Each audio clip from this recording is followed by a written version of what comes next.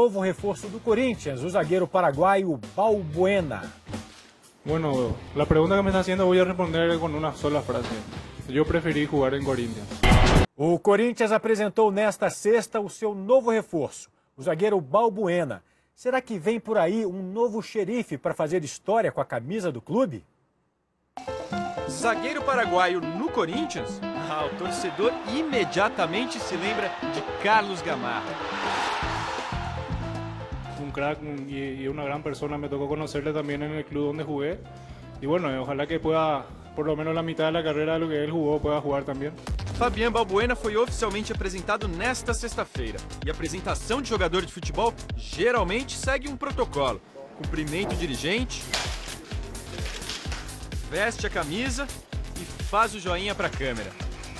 O Balbuena, pelo menos, trouxe um elemento diferente para a coletiva: um chá. El tereré, el, el, el- oficial de Paraguay, una de las costumbres paraguayas que nos identifica a nosotros los paraguayos y que siempre a donde vamos nos acompaña también. Bueno, la pregunta que me está haciendo voy a responder con una sola frase. Yo preferí jugar en Corinthians. Gamarra foi bicampeão brasileiro no Corinthians e se tornou um dos grandes ídolos da história do clube. E Balbuena sequer tem data para estrear. Por isso, é muito cedo para estabelecer qualquer tipo de comparação dentro de campo. Mas pelo menos no discurso, o novo reforço corintiano já mostrou atitude.